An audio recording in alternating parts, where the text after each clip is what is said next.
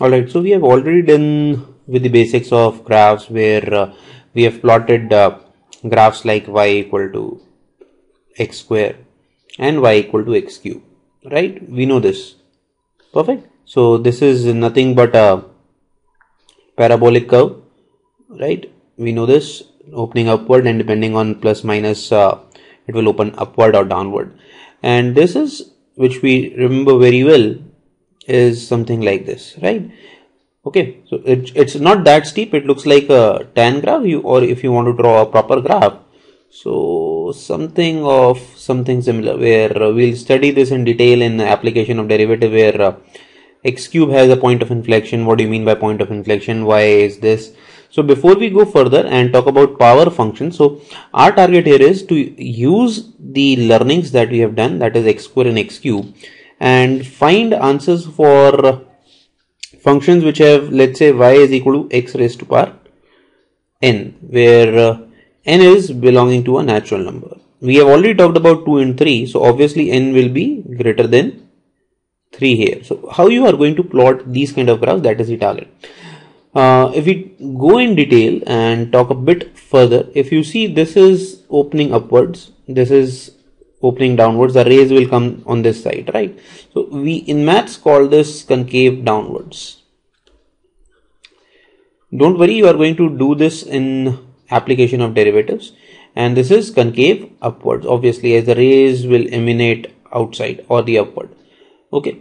So you, you can understand that how the shape is there if we talk about this parabola the all the shape is like this only. The rays will come outside. So this is always concave upward whereas the cubic graph changes its shape from concave downward to concave upward uh, let's say at x equal to 0 you just have to understand and remember this right? You can easily find out this. There is a method complete method where but we'll do that in application of derivative. So now our target is to find out x raised to power n. Let's say how you are going to divide this. We are going to divide this into two branches. One is when n is equal to even and 1 when n is equal to odd right? So if we go in detail this is nothing but y is equal to x raised to power 2n sort of thing and this is y is equal to 2 raised to power x raised to power 2n minus 1 or plus 1 sort of thing. So the graph of this is nothing but again parabolic type you can say. It will look like parabolic looks like parabolic. So you will if you are just for example if you are asked to plot the graph of let's say y is equal to x raised to power 6 it if you just have to plot this. Then you can simply say that if this is your uh, y axis so this is nothing but the graph. Very similar to x cube. Similarly if somebody asks you to draw the graph of y is equal to x raised to power 5 then you will not be able to find a difference. That's it. This is again the graph of y equal to x raised to power 5 okay but what happens is then somebody asks you to compare x cube and uh, let's say x raised to power 5 then you will have to worry a bit. Let's see how we are going to do that.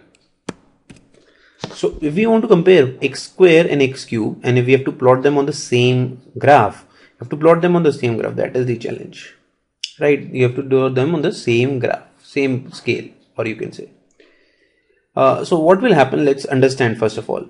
Um, both of them are even functions right? Both of them are even functions. So even functions we know has to be drawn only on the right side and their reflection is taken on the left side left side में आप उसका reflection ले लेते हो। ठीक है? तो एक काम करते हैं, पहले राइट हैंड साइड में बनाते हैं। उसकी तो मिरर इमेज हो जाएगी लेफ़्ट हैंड साइड में। मान लेते हैं, हमने ये ग्राफ बना दिया एक्स स्क्वायर का।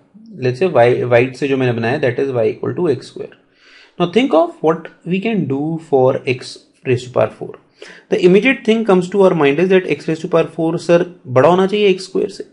बिल्कुल बात, सही बात है भाई एक्स जितनी बड़ी पावर डालोगे, उतना बड़ा नंबर आएगा। तो यही एक फ्लॉ हो जाता है जल्दबाजी में। This is true but when when x is greater than one let suppose if x lies between zero and one तब कौन बड़ा होगा? तब उल्टा हो जाएगा, तब एक्स स्क्वेयर बड़ा होगा। क्यों? अब की बार जो आपका बेस है सो so बेसिकली आप कर कह रहे हो? यहाँ पर कुछ ये चीज़ बेस है और ये क्या है आपकी पावर तो अगर बेस आपका फ्रैक्शन है तो जितनी छोटी पावर होगी उतना बड़ा नंबर होगा। I am repeating so if the base is fraction higher the power smaller the number उल्टा रिलेशन हो गया। सो so, अगर आप नोटिस करो तो इसको हम कैसे बनाएँगे? और ये दोनों मीट कहाँ करें so they are equal at x equal to one so मान लेते हैं ये एक्स इक्वल टू वन है। So x raise to power four का ग्राफ जो होगा वो आएगा तो नीचे से पर एकदम से फिर ऊपर निकल जाएगा। So this is the graph of y so जो ब्लू ये सॉरी येलो लाइन से बना है, ये है y equal to x raised to power 4 so, this is how you have to compare the graphs. Though, the shape will remain same. Shape अभी भी दोनों की almost parabolic रहेगी. तो अगर मैं इसको यहाँ से extend करता तो लेफ़्ट हैंड साइड पे भी यही काम होगा because this is an even function right clear so यहाँ पर भी ये यहाँ आता और फिर सीधा ऐसे निकल जाता। कुछ इस तरीके का ग्राफ बनेगा ये वाला। Similarly you can also compare the graphs of x cube and x to power five एक बार जल्दी से देखें, उसे, वो भी बड़ा इंटरेस्टिंग चीज़ है। सो एक्स क्यूब का ग्राफ तो हमें पता ही है। एक बार जल्दी से बना देते हैं उसको। ठीक है? उसमें तो कोई हमें प्रॉब्लम है नहीं। मान लेते हैं कुछ ऐसा बन गया ये graph y equal to x cube का।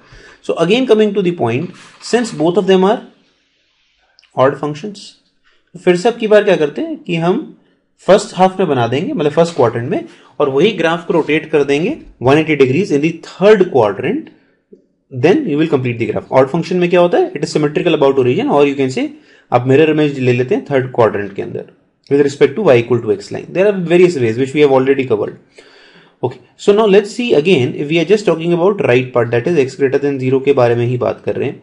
सो so, अगर आपका फिर से एक्स जो है ज़ीरो से वन के बीच में है which quantity will be greater x cube और x raise to power five अभी हमने बात करी if the base is fraction smaller the power greater the number so again x cube will be greater but if x is greater than one if x is let's say greater than 1 which quantity will be greater now? Obviously then x raised to power 5 higher the power higher the number. So, अगर मुझे अब इसका graph बनाना है तो graph फिर से कैसा दिखना चाहिए कि x की पावर 5 फिर से नीचे से आएगा और फिर एकदम से ऊपर चला जाएगा। सिमिलर काम आप इसको ऐसे करके दिखाओगे। Right so the shape still remain the same but there is a lot of change here how the change has is यहाँ पर जो पॉइंट आ रहा है, ये क्या है? वन वन और ये वाला पॉइंट क्या है? माइनस वन यहाँ पर दोनों बराबर हैं। ज़ीरो से वन के बीच में x super five is smaller okay so this is how you have to compare two graphs which are very basic so we have just talked about very basic stuff x raised to power 2n का हमें हमेशा graph बना सकते हैं and x raised to power 2n plus minus 1 that is when the powers are odd